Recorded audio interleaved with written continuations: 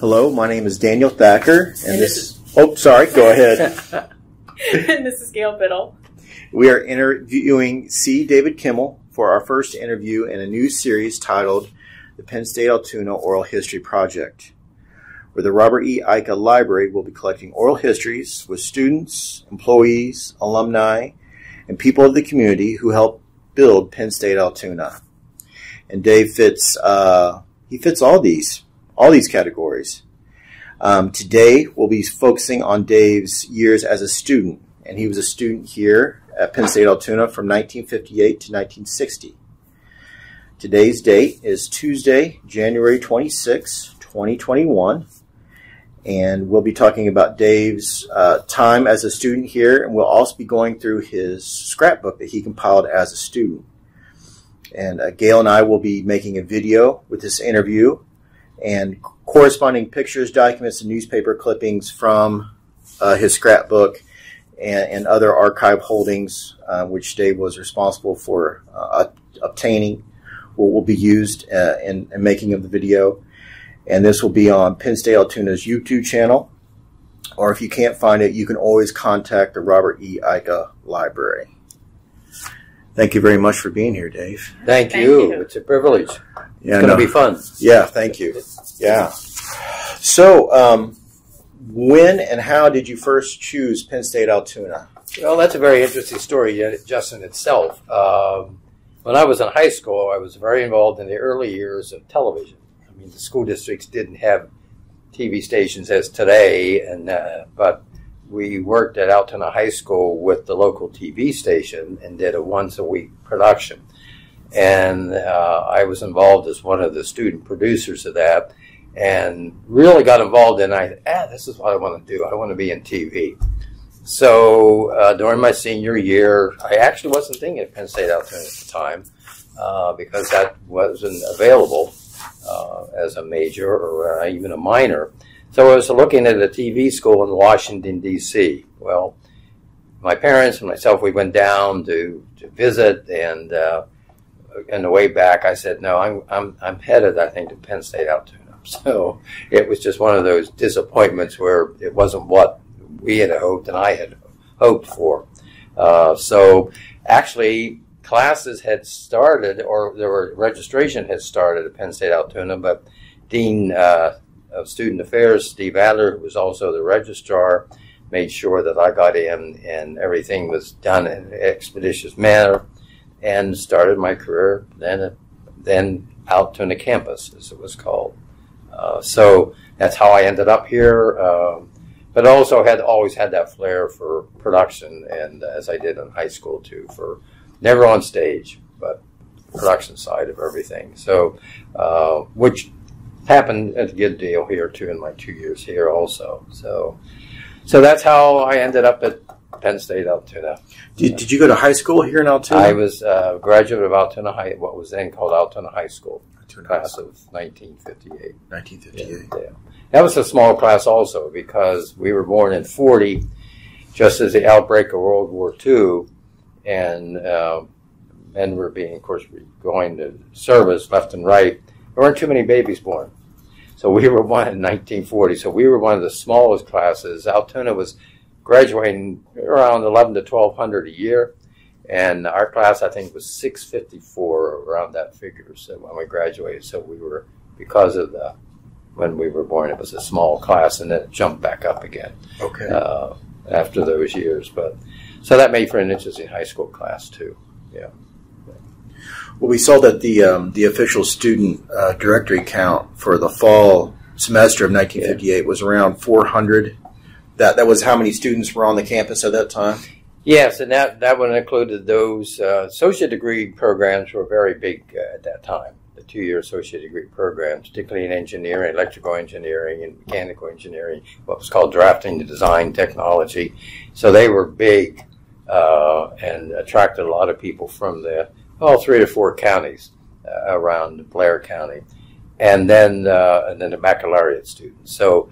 Um, not sure anymore what the breakdown was between the associate degree students and baccalaureate, but it probably could have been at those those years about 50-50 uh, then. So it was a it was an interesting mix uh, of people um, because of, it was a lot. Of, again, was engineering, which today we have a lot of engineering majors.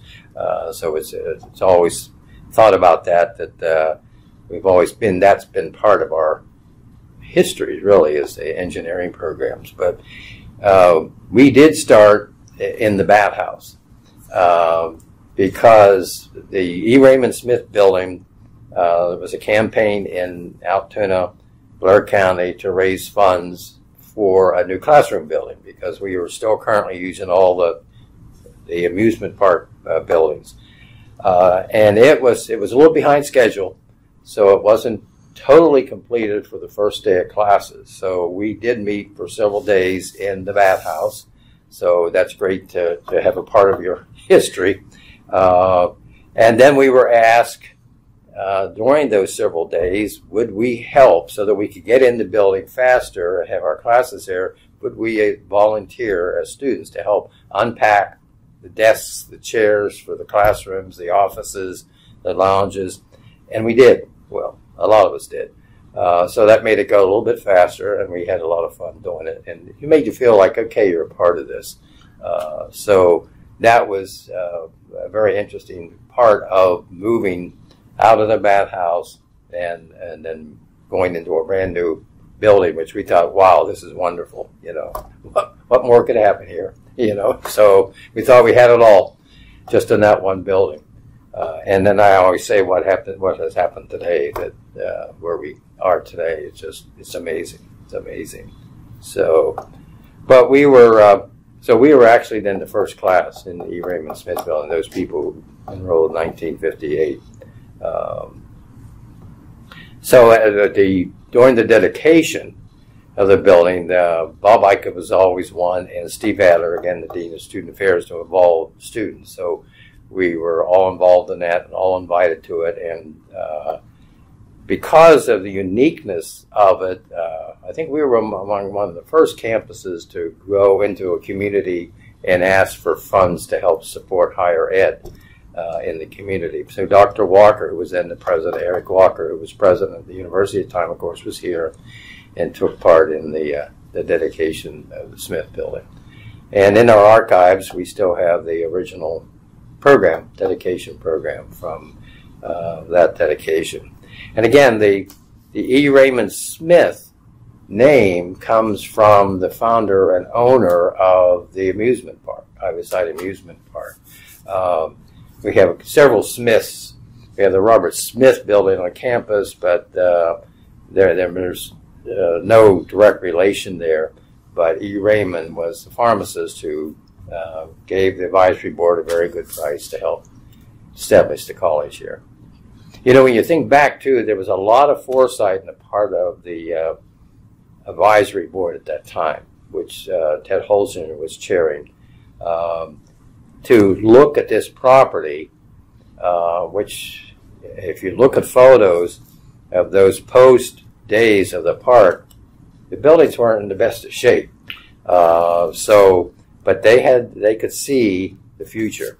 Uh, and to think about that, they took a bathhouse, a huge bathhouse that uh, handled over 10,000 people sometimes on a weekend, and converted it into uh, classrooms and offices, uh, and then to take the old roller skating rink and convert it into the first class or first student union, uh, and a couple of the other buildings. Uh, tremendous amount of foresight, uh, and often alums from that era will talk about the the interesting times they had in the buildings. Was was the roller rink? Was that in Ivy Hall? That was Ivy Hall. Ivy Hall. That would be named Ivy Hall. Okay. Yeah. So it was the roller skating rink and dance hall at the park. Uh, and then that became our, our student union. And some of the students who attended both of their years in Bathhouse had the great stories about the skunks that sometimes would enter under the building and the building would have to be evacuated for a short while um, until things got a little better. Uh, so there's interesting stories along those lines too of uh, those days. And again, of course, the parking lot, which was the pool, um, it was crumbling, uh, but still satisfactory. The, the concrete, uh, and all they did was take out a corner of the pool that we could pull down into park. Uh, a little rough in the winter because it was kind of tough to plow plow that in the winter, uh, so it wasn't done that often. Uh, but that became our parking lot, and today that's the same place that's the parking lot next to Michon. And, and I understand it was built to be the same size as the pool was, uh, the original pool. Uh, so those uh, types of things are that alums love to talk about when they get together and uh, talk about those days. And, and, again, it was called, got that nickname, Bathhouse U, uh, which was, you know, Altoona Undergraduate Center was the official name at the, at the time the college started, but when they moved here from downtown Webster Building, uh, people started calling it Bathhouse U, and that has stuck uh, over a number of years. Did they also call it Holsinger's Folly there for a while? Uh, that's what I read. Well, uh, that I think was I don't think that was a common name. That okay. was with some people thinking, "Oh, what what are they thinking?" And here are these guys that had this great foresight, you know, to, to do this. Uh, but that's yeah, that's you know, it's something I think that people thought, well, what? Why are they doing this? You know, what's there? Uh, well, the so from 1939 is when they started until 58. So uh, 20 years before they were able to get the their first building. But but once they started, they really started. But was that that E. Raymond that that was all funds from the community? That wasn't from Penn State University. That was all funds from the community. Right. Yes, there was no university or state funds involved in that. Um, so it was a building that was to get as much as possible out of it, it was a, a very simple building um, because the building has been renovated I don't know how many times since then. Uh, but it was very the, the, windows were of course no air conditioning back then, uh, central air, but but the windows were single pane um, and large because it was more economical to do large glass windows than a lot of brick. Uh, so the the classrooms could be a little drafty uh, in the winters. Uh, but it, it, we were just so happy, so happy to have that uh, type of facility to do. And we loved the, the student union, the old Ivy Hall. Um, it was named Ivy Hall a little bit later, but when we were students here, it was uh, just the student union. And that's where the theatrical shows would go on that the drama department would do. That's where our dances were. Dances were popular back then, weekend activities uh, such as dances. Uh, a couple years we had a Beaux it was called a Beaux Arts Ball uh, that was really unique, total weekend of the arts, and also a big dance. Um, and that's where the bookstore was.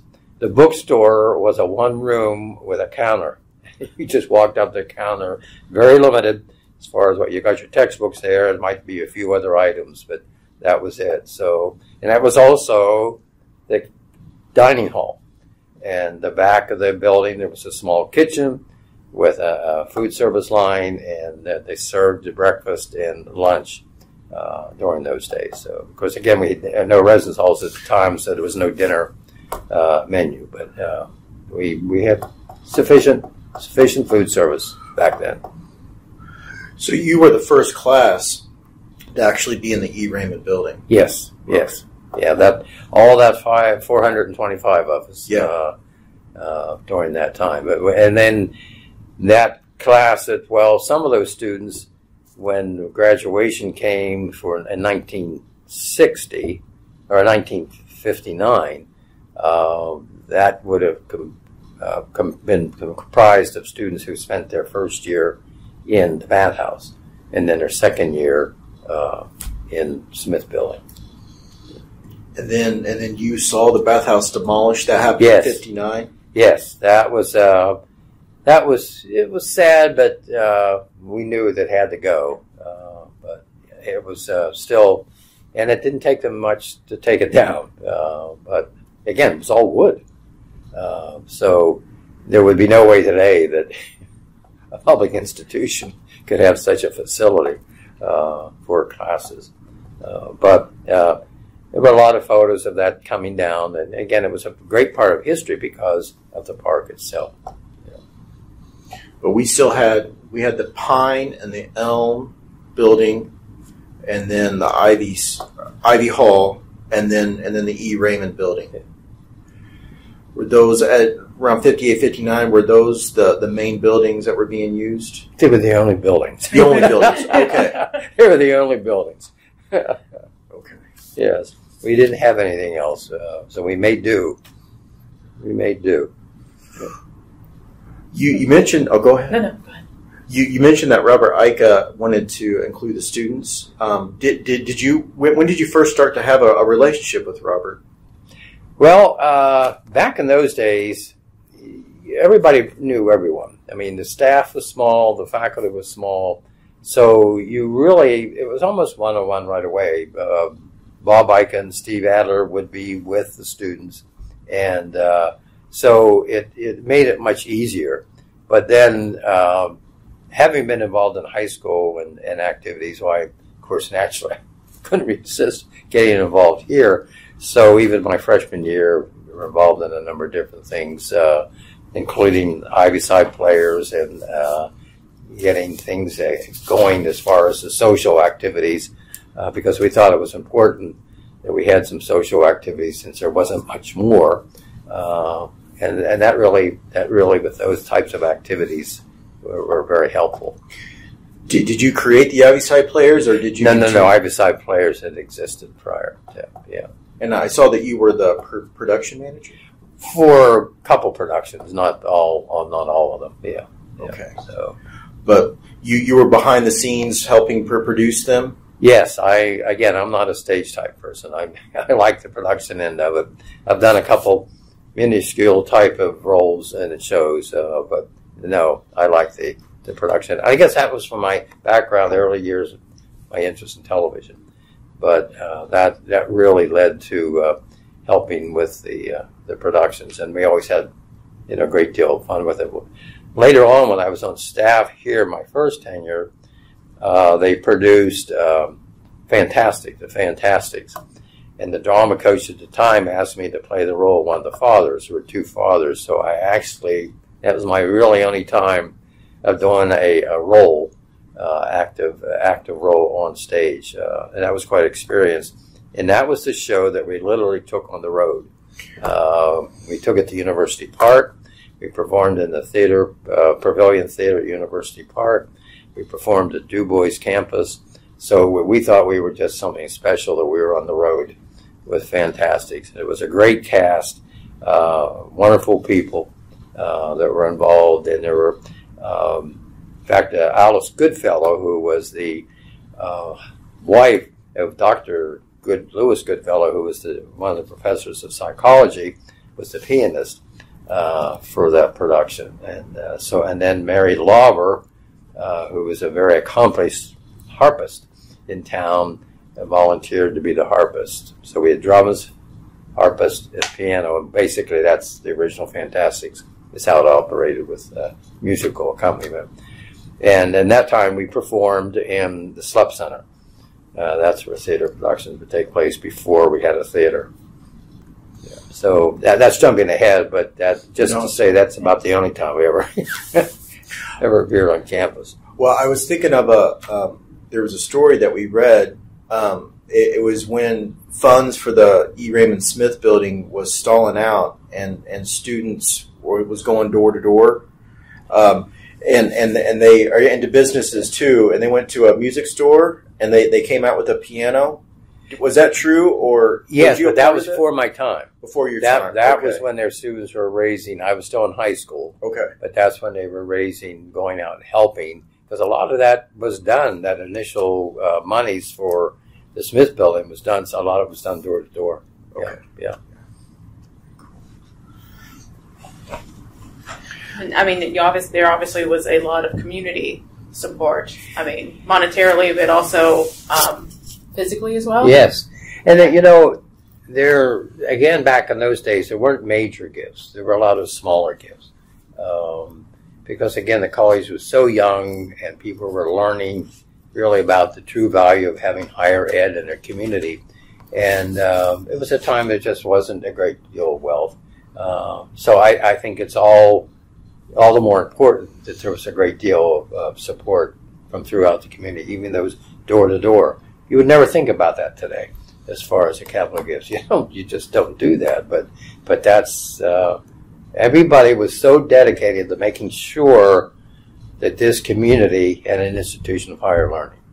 Uh, so they were doing just about anything and everything they could uh, do to help with that. Yeah. Yeah, we found in the um, the Altoona Mirror there was actually kind of almost like a coupon where Yes. you could say, you know, I'm I'm going to volunteer to do this. I'll even bring my own tools Yeah. and, and things like that in order to, to help Yeah. build. Yeah. Yeah. Well, renovate back in those days. Right. Yeah. Yeah. So so that's it's been that that's been a great advantage of Penn State Altoona is the strong strong community support that even today uh, I think rivals among the campuses uh, about the strong community support we have here. So when when you helped unpack all the desks, was that an official work day or was that No, work days were uh, something separate. Uh, that was a traditional thing back in those days uh, where um, I'm I'm not sure who started, whether it was Steve Adler's idea or Bob Eiche's, but the idea is we had a day off from classes. Uh, so you didn't have to volunteer, but a lot of students did. Um, and there would be projects. And so when you would arrive, you'd be assigned to a crew. Uh, and mostly a lot of it was working outside, clearing brush, uh, cutting down trees. So here we are, freshmen sophomores with chainsaws and everything else that you could never ever do today. But it was, I mean, and then there was one part of it called Carney's Wall on the stream that runs down through campus. That the wall uh, it was in a sharp edge and an angle that would keep flooding out. So Dr. Albert Carney chaired that project uh, and led it and uh, would work with a group of students. And so it affectionately became known as Carney's Wall uh, during those years. So it was just projects like that that would be picked up on. Well, that project was picked up every year uh, to work, enhance it, and, and build it a little bit longer down on the stream side. So um, it, it, it was just a lot of fun. A hard day. Uh, and then we were provided lunch. Uh, and then we just had a great time working and, uh, and a lot of things. One of the first uh, athletic fields was cleared by a group of students to make that all possible. Uh, so, of course, actually the facility staff, which again was small then, worked directly with us. And again, a number of the staff and faculty, like Dr. Carney and uh, and Bob Eiche would always be out there, and Steve Adler. But um, so there was a true family, true family, and that that was very unique, very different. Lot, people have a lot of good memories about the work days. So, and there's good things in the archives. Uh, anybody wants to ever look into the uh, archives of Penn State Altoona, there's uh, interesting materials and photos in the archives about uh, our work days.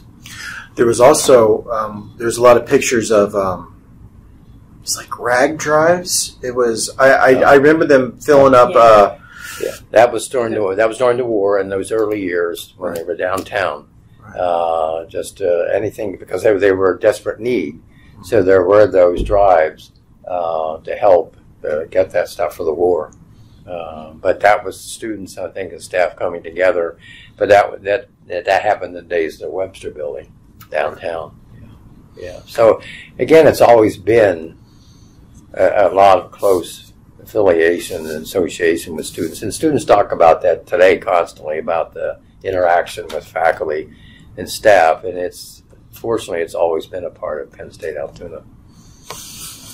Because I'll, because okay, so that we were downtown from 39 and then 40. 47, 48 was when we moved officially to Ivy Yes, yes, Okay. yes. Uh, so it was, and again, downtown, it was in one building, and then across maybe six blocks and across the railroad tracks was the second building. Uh, and again, it was a second abandoned elementary classroom building. Uh, and uh, so students joked back then uh, about going to two different locations, as Penn State Altoona today is two locations at Ivy Side Park and now downtown again. So we're back to uh, where we were. But uh, I guess the schedules ran fairly close that people would really, and there weren't that many cars, I guess, uh, that students had then, so they'd really have to beat their butts across the Seventh Street Bridge to get from Webster School to Madison School for classes.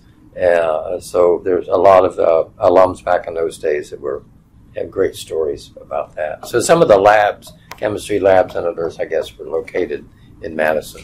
Yeah. Right. yeah. Uh, so it, it made a, uh, as I always think about when we're such have a strong presence downtown today, what it was from the very beginning. Uh, so it's almost full circle uh, again along those lines. Well, you know, as you were saying about, you know, obviously with such a small small group of people, it was very much like a family. Um, but and, and at the time, the ratio of male to female students was eleven to one. So were the female students um, was it seen as something unusual, or were they very supported? Um, were they encouraged?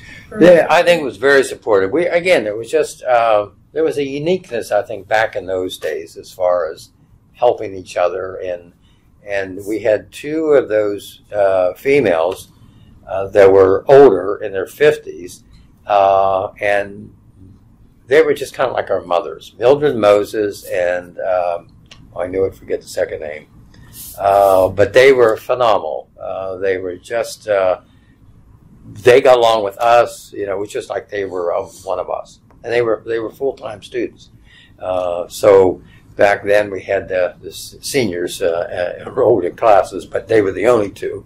Uh, but uh, we have great memories of sitting in the, the initial lobby of the Ingram and Smith building. Was kind of like the hangout, other than the uh, student union building. Uh, but uh, great conversations took place there, and a lot of ideas would come forth from just sitting there and chatting.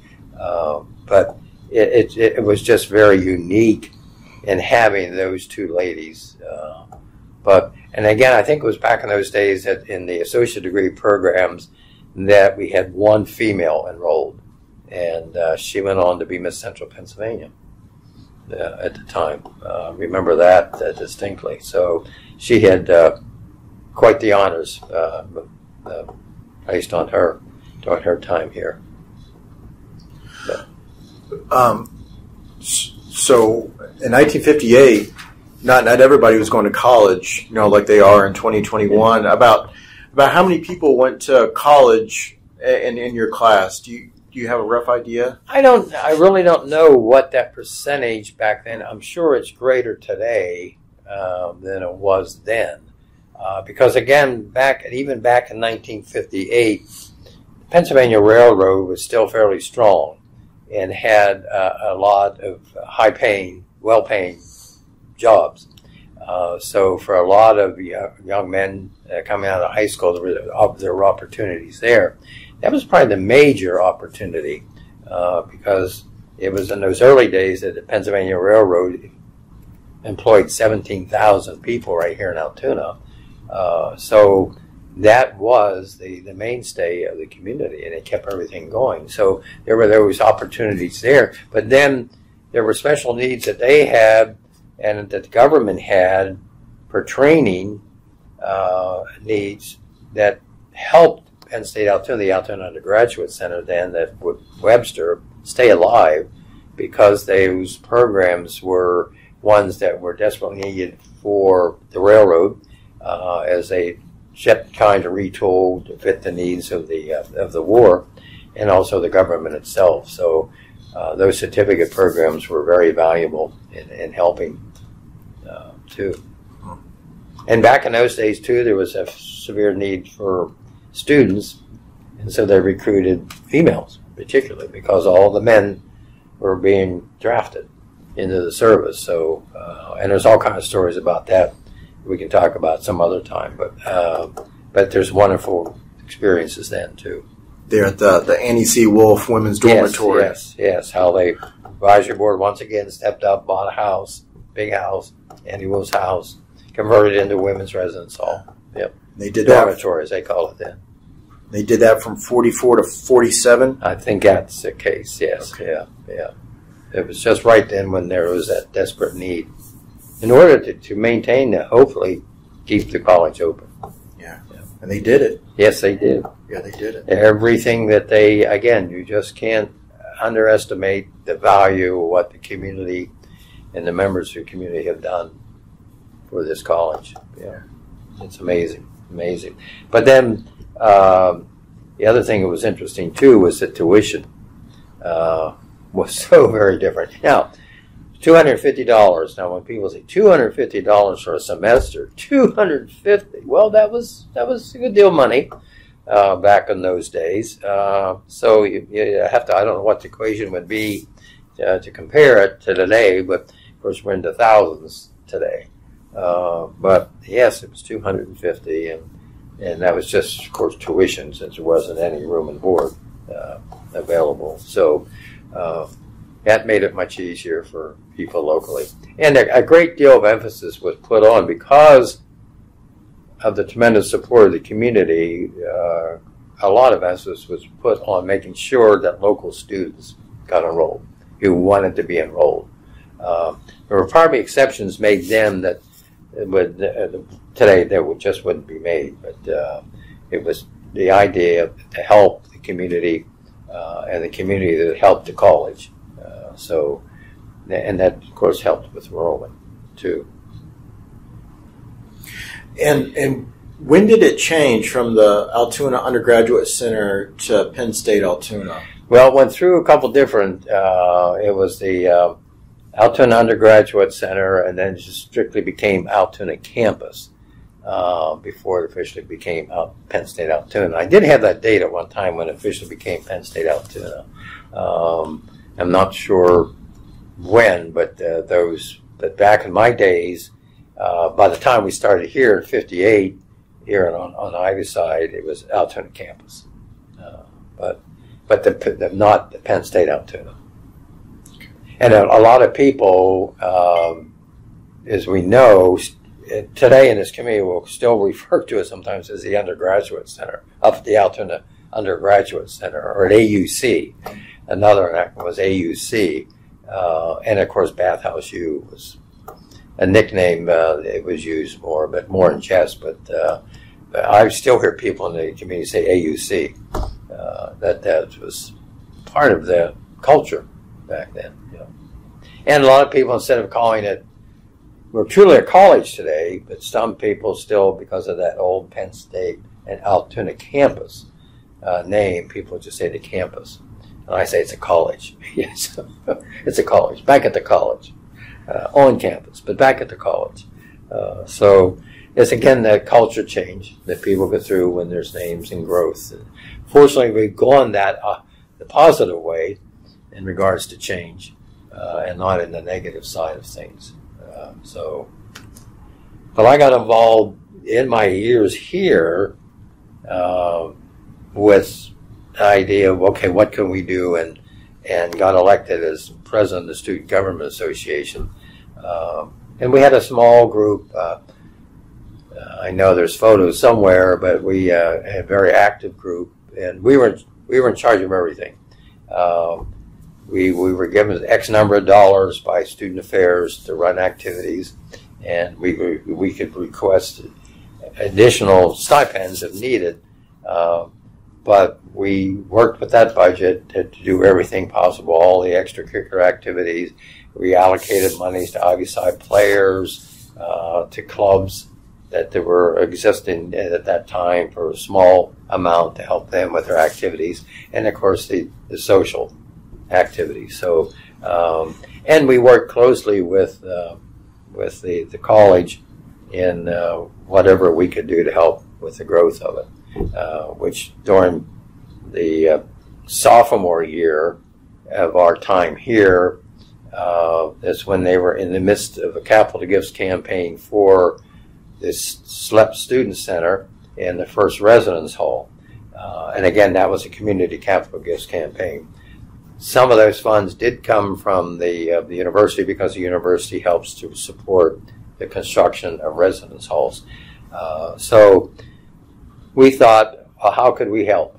Uh, and so uh, back in those days, we had what was called an assessment fee, a whopping $25.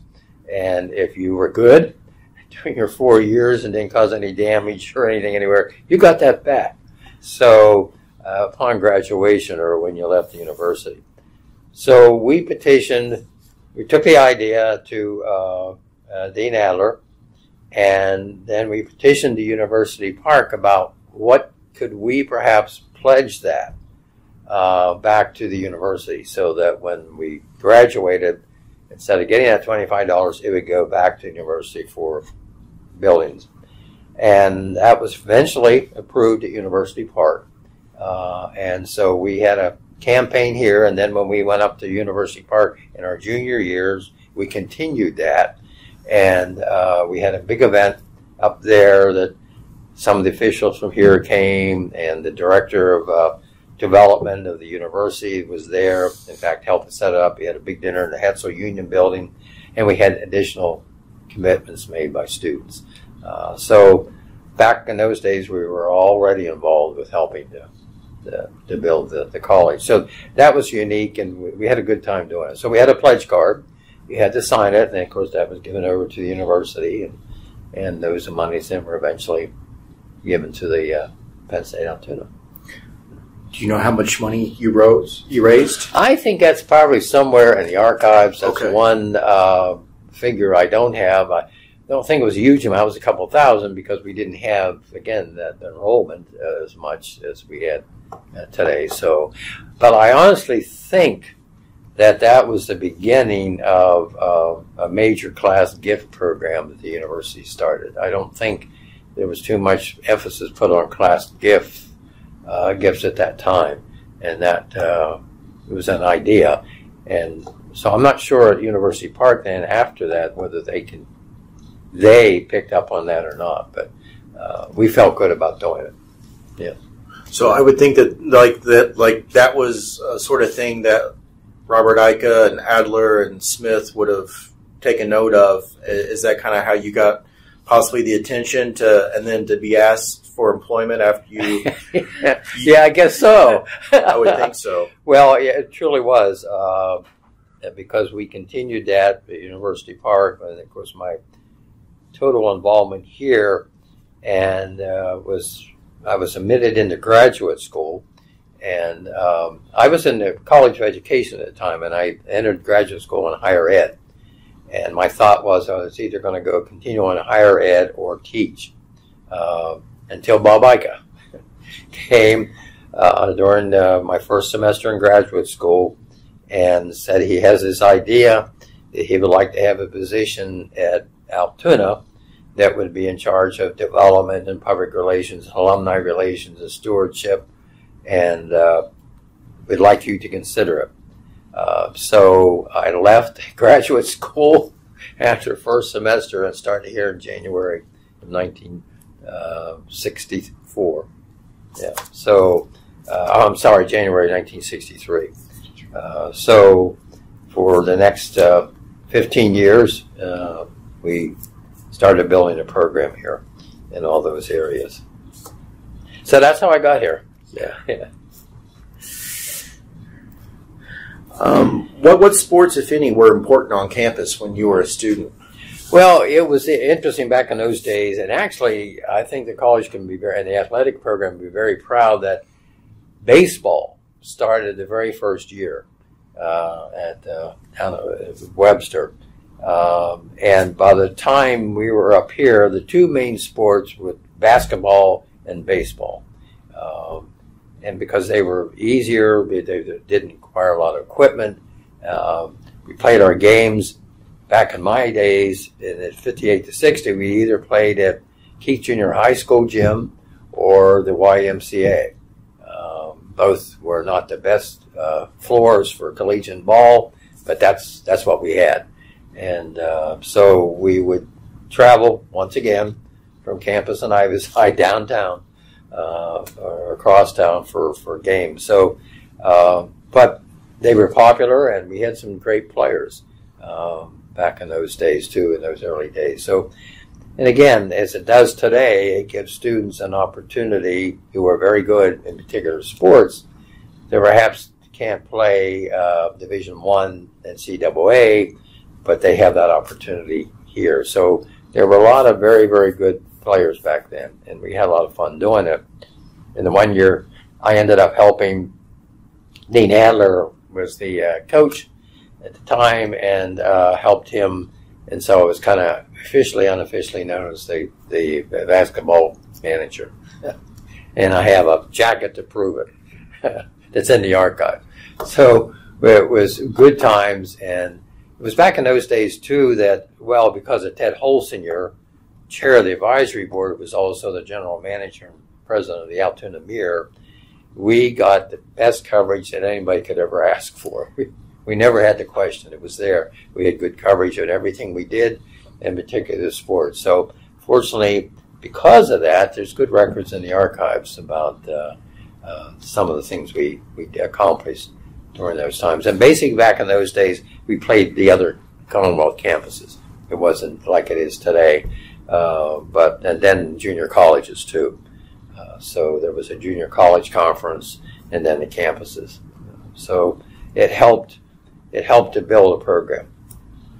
There was, I, I saw it in the in the scrapbooks, and um, it was Potomac. Was that a big rival? Potomac State. Okay. Potomac State. Yes. Yeah. I that, that that clip I saw that several times. Yeah. Potomac. yeah, Um, in Maryland, I think. I think Okay. in Maryland, but Potomac State. Yeah, I remember that well. Yeah. Uh, and then one of one of the other uh, uh, rivals has always been the Behrend, Penn State uh, Erie.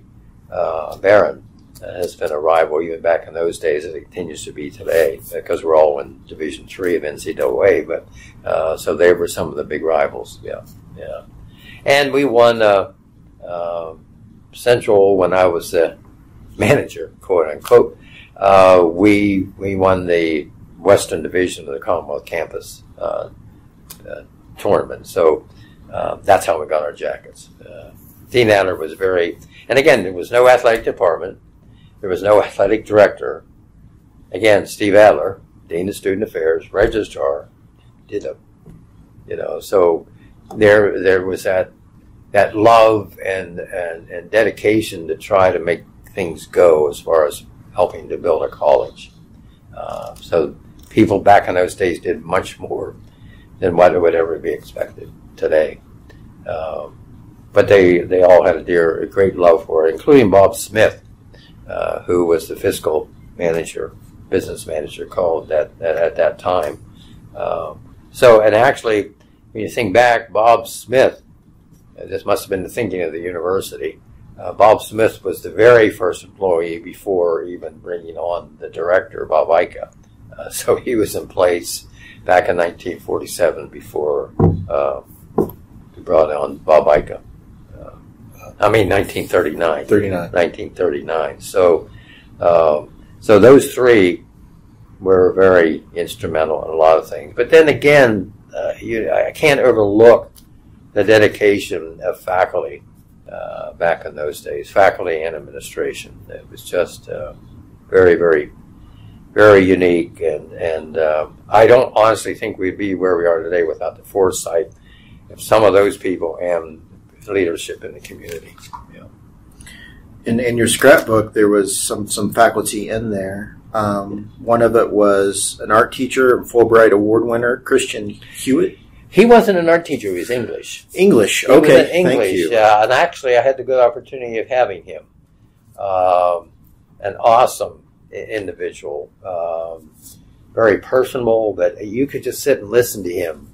I mean, he was just that type of uh, uh, professor. Um, very intelligent. Um, again, was great with students. Uh, and I, I'll tell you what, I was petrified in his classes because I wanted to make sure that my theme papers were the best it could be. I did think I think I come out of a B in there. I wasn't always the best student, but I think I come out of that class in a B, which I felt very happy about. But again, he was he was among some of the unique professors back in those earlier days that uh, that we were able to have here at, at Altoona.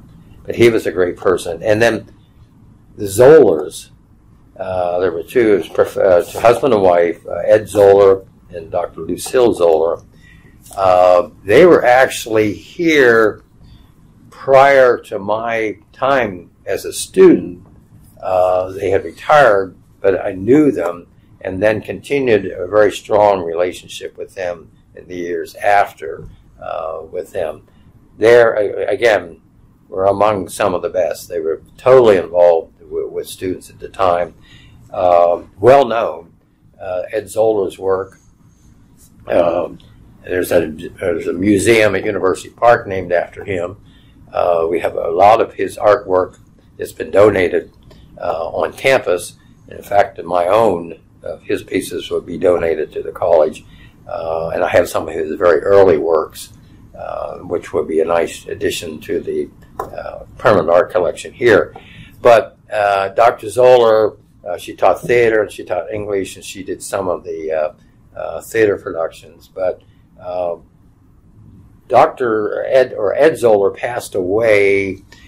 Oh, I think when I started here, my first tenure uh, of employment, and so there were a group of individuals, uh, Kay Parks, who taught English, who's, uh, Lisa Marshall taught English, um, Joyce Kipp taught drama and theater, uh, Robin Ike, who taught English, and myself kind of became their family. Uh, we were kind of adopted by the two of them before Ed passed away. So we spent a great deal of time with them and also with Lucille uh, up until her passing uh, also. But it was, uh, again, a, a, great experience. They lived up in Hundred Springs outside Tyrone, a very unique house where Ed had a studio. Lucille was also into pottery and jewelry. She had a special hut for that. So for, for me in particular, I was the youngest of that, that family group. Uh, unique experience to be with people like that. And we'd be there often for dinner and up there on weekends. And, and uh, so uh, that added so much more to my uh, experience uh, as a young person and growing and having that exposure to people like that. But both of them had phenomenal backgrounds, uh, well known, and it's just it's so nice to, to be visit the Zoller Gallery. Uh, but today here, uh, his works are throughout both campuses, um, so downtown campus and here. So it's always nice to uh, see their pieces. He also wrote a book, and we'll put a link in the description uh, to that book um, that had his artwork, and he talked about yes. his thoughts and how he came about it and how he needed to do art. Do we have a copy of that? Do you know? In the uh, library? I have a copy. We, we, we have, we have the, the, the, the, digital copy. We, we don't oh, have the physical oh. book here. Okay, well, we got to make sure that happens. Uh, so. well, his um, uh, I think they, they called it abstract expressionism. Um, yes. Very, uh, what I saw was very uh, muted colors of like whites and grays. Well, he started out um, early in his work with uh, still life, uh, scenes, uh, community, and so forth. and then during his progression, you saw they became a little um, more of the grays and not the bright colors. Uh, and unfortunately, I have pieces back in those days. And then he became very abstract, and that's what his he became known for. Uh, I can remember there was an exhibit, a one-man exhibit in the Pennsylvania Museum of Art in Harrisburg of his pieces, and I was privileged enough to have one of my pieces that I had actually purchased from him in the collection uh, in the exhibit. So uh, so he was very unique in the way his art changed through the years. Uh, and but, but, it was more of his abstract work that became had uh, well known. Had a great influence on a number of students. Uh, Joe Civello, uh, who's still a living artist today, went to the college here, well known. Ken Kuhn, uh, who did a lot of abstract work. He was on the faculty here, taught art.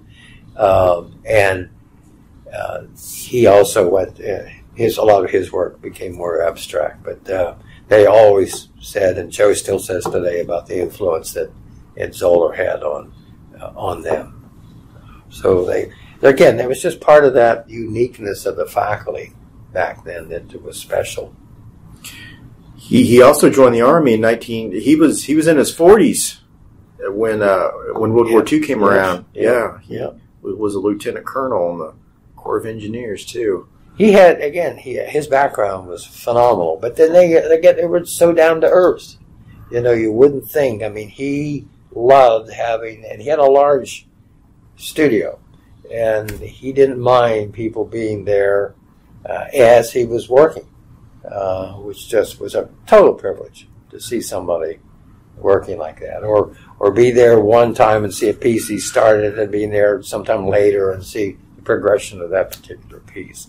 Uh, so that that just really uh, was again so valuable to pe- people, and they would have a number of the students, particularly the art students, up to their home in Hundred Springs uh, to visit with him and, and to see his work up there. So were the arts um, was that an important thing on campus in general? Because you had the student exhibits, and you said you had the Yeah. Beaux Arts. It was, Yeah. and that's what was fortunate, particularly once the Smith Building uh, was right, because we always had. It was fortunately somebody always, at least one person in art uh, on staff, art faculty. Uh, so, and there was a small, small gallery in Smith Building when it was built. Uh, that was right inside the one main door. Uh, that eventually became an office uh, because then art uh, was then more displayed in the lobby because they needed a larger space. So the, the art was work, and that's when the permanent art collection was established too, to make sure that uh, we were doing the keeping of the, the pieces that would be cherished throughout the years. But so uh, being that we always had here, again, starting in '58, theater. Uh, and a faculty person involved in it, art with a faculty person involved.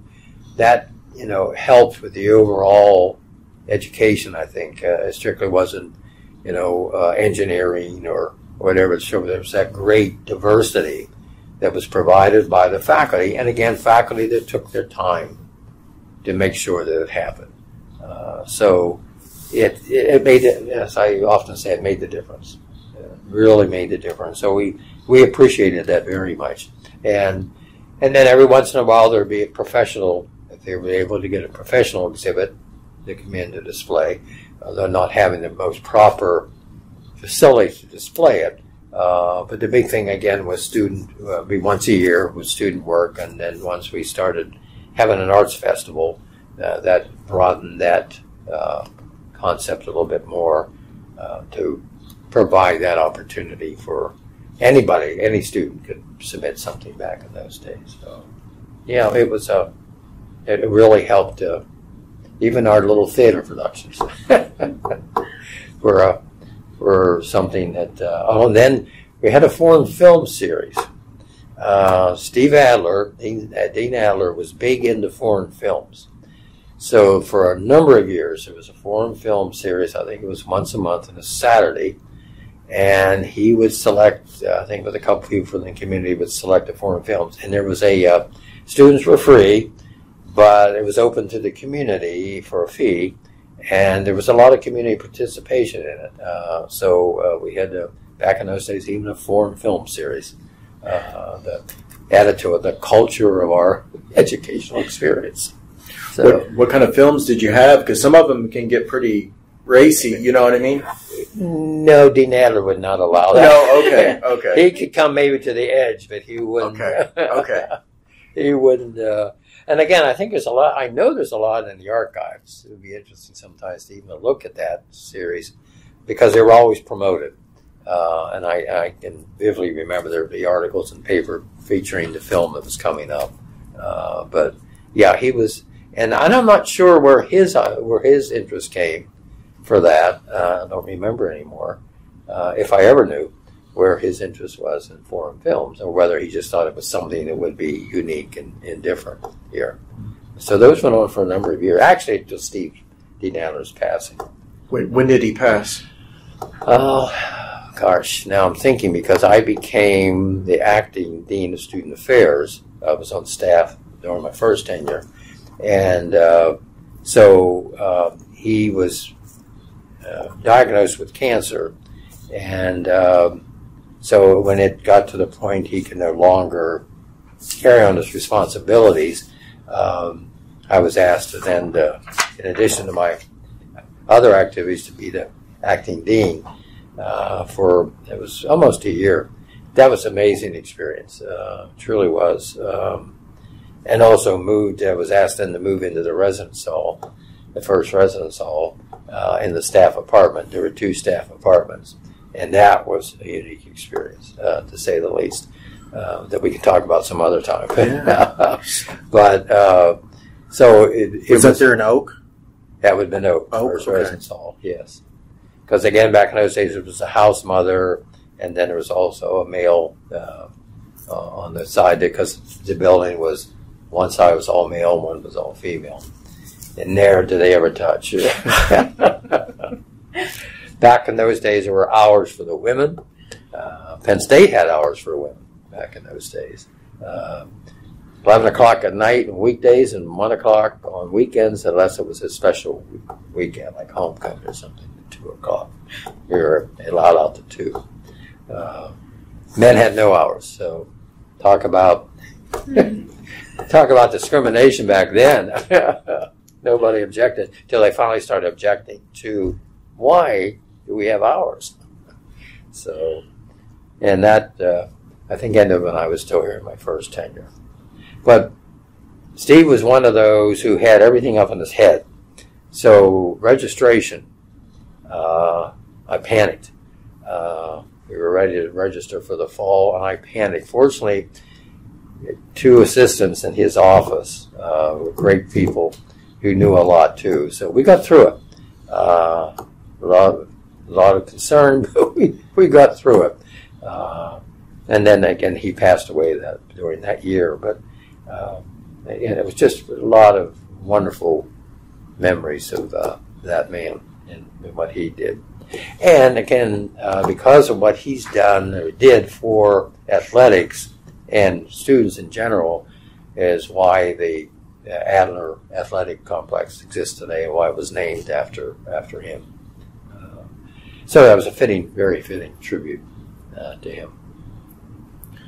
Were, were you sad to leave, or did you want to leave to go to, to University Park? We were. Uh, we were sad to leave because we were having a great time here. We knew going to University Park, uh, you know, here, how else can you put it? But we were something, you know.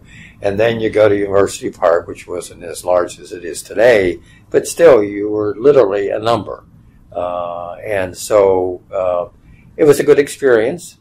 Uh, but it wasn't uh, anything like we had here that we were involved. Um, so, yeah, if it could have been, if could have been here for four years, I definitely would have been here for the four years, uh, just because um, you know you're getting a good Penn State education, but uh, it's a very personal uh, situation. So, uh, we did uh, we did stay at University Park. A number of students commuted back and forth daily.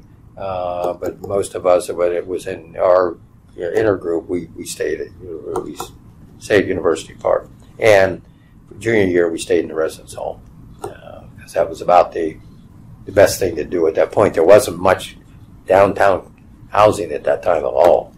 Very, very little. In fact, when I went into graduate school, I had a tough time finding a place uh, off campus. Uh, so so we did stay in the residence hall our junior year. What, what was your undergraduate in? Biological science, Biological science. which I've never touched since. which, which I guess happens. But well, my thought was I would teach, and I would teach biology or uh, or whatever. But I enjoyed. I've always enjoyed that uh, science, and uh, I still do today, although I've forgotten a lot. Uh, but it was uh, it was a good good major, but I always had that flair, I guess, for the being the old days of the production manager side and the PR. And uh, so when Bob Eiche offered, you know, bye bye graduate school, hello, Penn State Altoona. so back in those days, by the way, too, as a student here, uh, ROTC was mandatory. Uh, so, and was, at the time we were here, it was Air Force was here, but it was mandatory. You didn't have a choice on that. Uh, so we were all all the men were in ROTC. So um, uh, my mother always took great pride in taking a picture of me in my ROTC Air Force uh, uniform. But uh, so we didn't uh, back in those days. They were because it was mandatory. They weren't as astute as they are today as far as the drilling and and uh, so forth. But but today most of them are in ROTC because they want to make a career of it. Uh, back in those days, well, it was just it was mandatory. Did did they end that? Yes. What- Oh, yeah. I'm not sure when the mandatory Okay. ended. I don't think it was too long after we left here. Okay. Uh, and you know, the other thing about it too is that um, physical education. We didn't have any physical education, so um, that wasn't required either. Where University Park, of course, phys ed was required. There's a certain number of courses, but campuses where there weren't any facilities, there was uh, that wasn't required.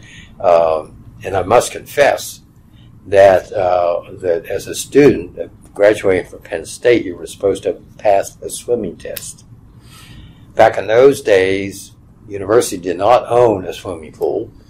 It was at a uh, business-owned swimming pool downtown State College, and you were to go there and, and take the test. And I must confess, a number of us never did it, but we still got our diploma. So. So that was the one thing we just didn't bother doing.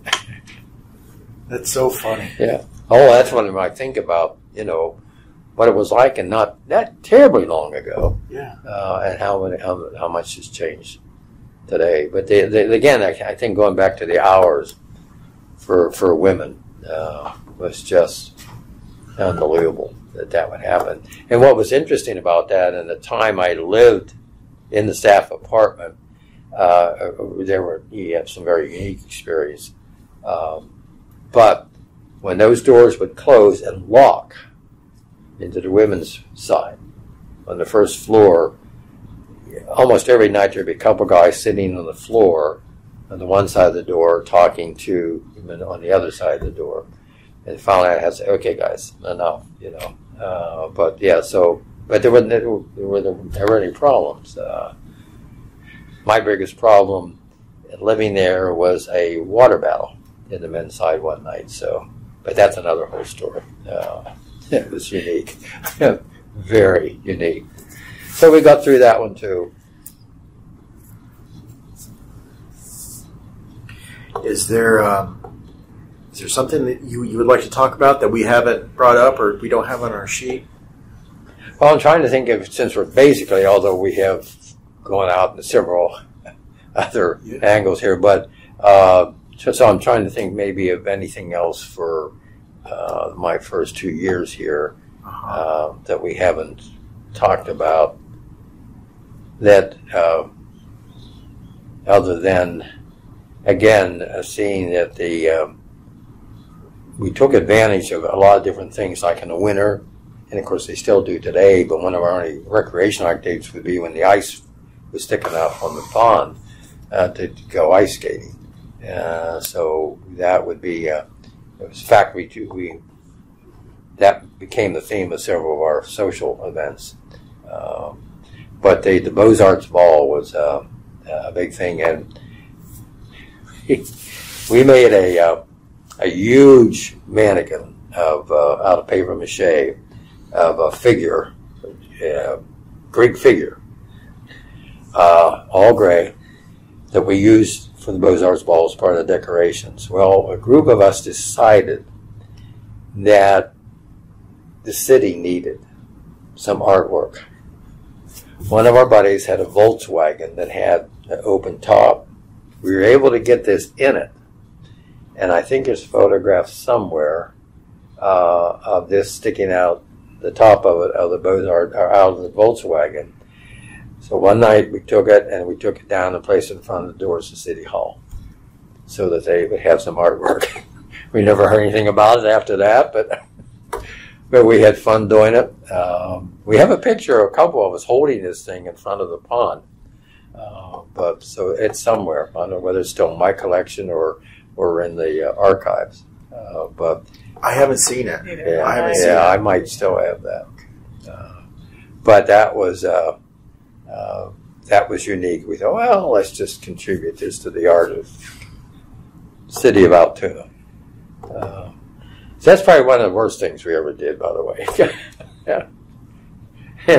and it wasn't anything destructive at all. So whatever the city did with it, we, we never did understand or found find out why.